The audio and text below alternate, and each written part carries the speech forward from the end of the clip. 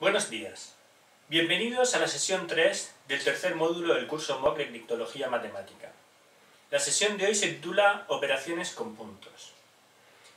Las curvas elípticas sobre cuerpos finitos tienen un número finito de puntos. Estos puntos ya vimos en la sesión anterior que se pueden operar entre sí. Estas operaciones de punto son las que utilizaremos en los protocolos criptográficos y hoy vamos a verlas en más detalle.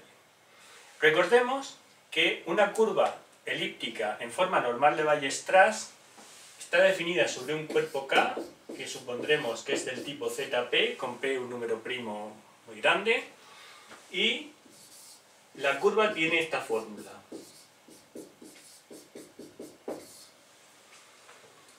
Esta curva tiene un punto en el infinito, que ya calculamos en la sesión anterior, que es el punto proyectivo 0, 1, 0. Este es el punto que vamos a llamar O. Es un punto, el, único punto mm, en el infinito de esta curva. El resto de los puntos de esta curva están dentro del plano afín, por lo tanto se podrán representar con dos coordenadas x, y, o si lo queremos representar con coordenadas proyectivas x y z, pero en principio se podrán representar únicamente con las coordenadas afines, puesto que esos puntos pertenecen al plano afín. Vamos a definir hablamos en la sesión anterior que dados dos puntos de la curva podemos definir la operación P más Q y que dejé claro que no, no es en absoluto la suma coordenada-coordenada. Es una operación que ahora vamos a, a definir en detalle. Vamos a ver algunos casos especiales antes de ver la definición general de suma de puntos. Lo primero que vamos a notar es la simetría, aquí esto es x cubo. La simetría de esta, de esta fórmula. Si nosotros tenemos un punto xy perteneciente a la curva, es decir, un punto que cumpla esta ecuación, el punto x menos y también cumple esta ecuación. ¿Por qué? Porque aquí está elevado al cuadrado. Y x y menos y elevado al cuadrado es igual a y elevado al cuadrado. Por lo tanto, siempre que tengamos un punto xy perteneciente a la curva, también tenemos el punto x menos y. Pero, si recordamos de la sesión anterior, había una operación que se llamaba, eh, que se llamaba calcular el punto menos p, una operación de grupo. Bueno, pues el punto menos p es precisamente el punto que eh, aparece al cambiar la segunda coordenada al signo negativo. Evidentemente estamos en aritmética modular y por lo tanto podemos tomar representantes, cambiar el signo negativo, podríamos necesitar sumar múltiplos de p para ajustar el, para ajustar el valor. Pero eso no es ningún problema. Entonces, si nosotros sumamos p más menos p, es decir, sumamos dos puntos que están relacionados de esta forma, que tienen la primera coordenada igual y la segunda coordenada, eh, los dos valores cambiados de signo, por definición, esto va a ser el punto del infinito O, este de aquí. Si sumamos P más O es P, también por, por, la definición de la estructura de grupo, y O más P es igual a P, porque la operación de suma es conmutativa. Entonces, cuando sumemos dos puntos, vamos a considerar que no serán ninguno de estos tres casos. Es decir, que estamos sumando dos puntos en los cuales uno no es el contrario del otro, es decir, no tienen la primera coordenada x igual, y que ninguno de los puntos es el punto del infinito. Porque si no, las operaciones simplemente se aplicarían estas fórmulas. Estas son las premisas iniciales que debemos, que debemos considerar. Entonces, para sumar puntos, vamos a considerar dos casos la suma P más Q, donde en principio vamos a suponer que los puntos P y Q son puntos diferentes. Bueno, recordemos la, fórmula de eh, una curva elíptica es una, es una función cúbica y si nosotros tenemos dos puntos P y Q, dos puntos pertenecientes a la curva, y trazamos la recta que une esos dos puntos, esa recta intersecará con la curva en un tercer punto. Vamos a llamar a ese tercer punto R. Bueno, pues la definición de la estructura del grupo nos dice que P más Q más R va a ser el punto O. Entonces, para calcular la suma de dos puntos, lo que tenemos que hacer es calcular la ecuación de la recta que une esos dos puntos y buscar la intersección de esa, de esa recta con, el, eh, con la curva, la tercera, la tercera intersección. Y entonces, puesto que P más Q más R es 0, P más Q es igual a menos R, pero menos R ya hemos visto que simplemente consiste en cambiar de signo la segunda coordenada. ¿Cómo se haría esto? Pues para hacer esto podemos resolver las ecuaciones cada vez que tengamos que sumar dos puntos o simplemente utilizar las fórmulas en las cuales eh, este cálculo está despejado. Esas fórmulas están, están ya perfectamente calculadas y lo que se hace es, suponiendo que el punto P en coordenadas eh, afines es el punto x1 y 1 y el punto Q es el punto x2 y 2, entonces lo que se hace es calcular la pendiente de la recta, que es m igual a y1 menos y2 partido x1 menos x2 y el punto x3 será el punto menos x1 menos x2 más m cuadrado. Y el punto y3 será el punto menos y1 más m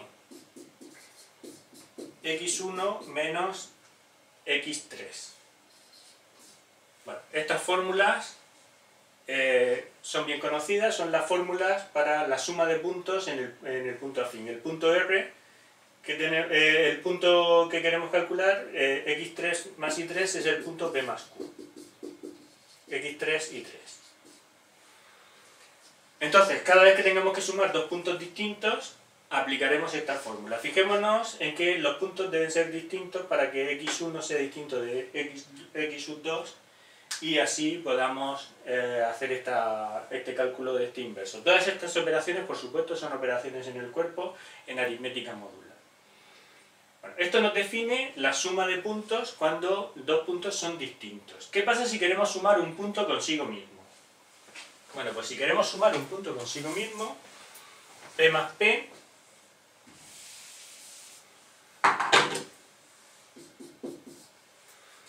Entonces lo que se hace es, la, idea es similar, eh, pero en lugar de trazar la recta que pase por P y P, puesto que es el mismo punto, lo que se hace es trazar la tangente a la curva por el punto P. Y esa tangente cruzará la curva en un tercer, eh, cortará la curva en un tercer punto, que será el punto R y aplicaremos la misma fórmula. 2p más r, bueno, p más p se puede escribir 2p, entonces hacemos la tangente a la curva, nos da eh, un tercer punto, r, 2p eh, va a ser igual a menos r, y entonces ¿cómo se calcula esto? Entonces tenemos un solo, un solo punto, x1 y 1, y en este caso la tangente, la recta, la pendiente de la recta tangente es 3x1 cuadrado eh, más a partido por 2 y 1. Eh, x3 y 3 siguen siendo la misma, la, misma fórmula. Y 2p, solo hay que, hay que sustituir el valor de m. Y este, esta sería la suma de un punto consigo mismo. Bueno, la existencia de la tangente cuando vimos la definición de curva elíptica, hablamos de que la curva tenía que ser una curva no degenerada. Eh, bueno, esas condiciones técnicas que poníamos ahí, que en aquel momento no expliqué, son fundamentalmente para conseguir la existencia de las tangentes eh, eh, y que se puedan hacer estas operaciones. Si no, las curvas elípticas eh, sobre la, eh, en el caso de que no existan tangentes en algún punto, pues no estemos en curvas degeneradas, pues no se, esto no sucede, no se podría aplicar. Por eso lo exigimos en la definición. Bueno, por último, vamos a ver lo que se llama la multiplicación escalar.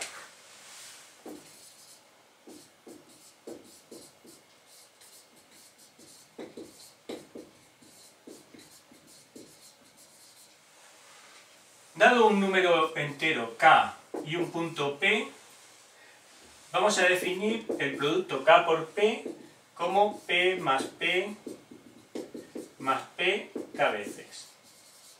O sea, 2p sería p más p, 3p sería p más p más p, y así sucesivamente. Si k es menor que 0, pues menos, por ejemplo, menos 3p sería menos p más menos p más menos p. Es decir, que si tenemos un número negativo, menos k por p, esto sería k multiplicado por menos p. Esta es la definición de multiplicación escalar. Tenemos que hacer esta operación, esta será la base de las operaciones criptográficas, y tenemos que hacer esta operación para números k muy grandes. Entonces, para eso utilizaremos un algoritmo muy similar al que utilizamos en RSA para el cálculo de la exponenciación modular. El algoritmo es el siguiente.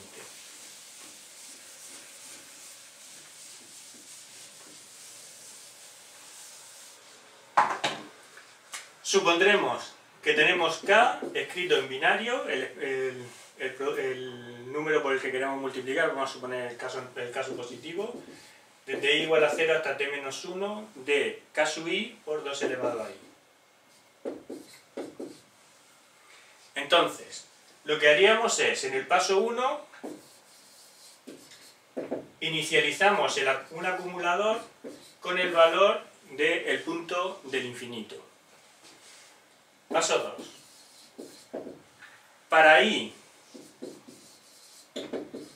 desde t-1 hasta 0, hacia abajo, lo que haremos es, en cada paso, el acumulador